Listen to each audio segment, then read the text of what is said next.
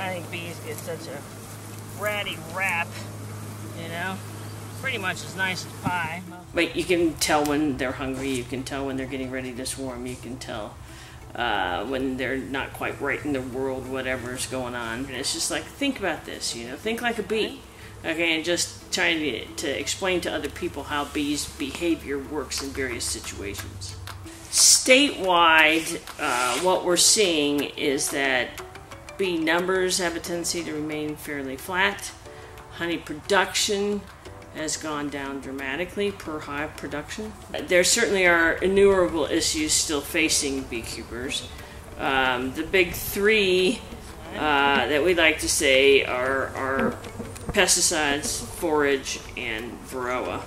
So the public can help with decreasing pesticide use and increasing flowers and then beekeepers have to maintain varroa. You know, from mild winters to harsh winters, from you know 70 degree uh, drops in a day. You know, I mean those are huge things in the in the plant world. But where you have these plants that have these uh, pollinators that are specific to them, and you start having that plant bloom earlier than that insect hatches.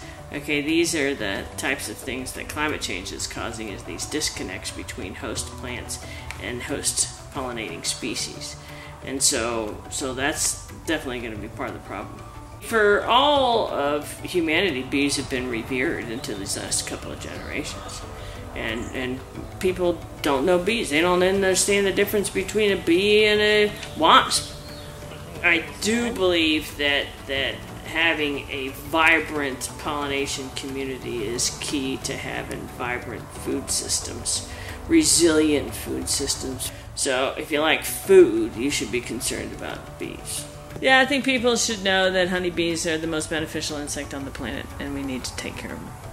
And, uh, and and bees in general are incredibly beneficial insects, and you can't lump all bugs as bad bugs and uh, and that knowledge is power. And if we know that things are are important to our environment, important to our quality of life, important to the quality of our food source, then we should treasure that.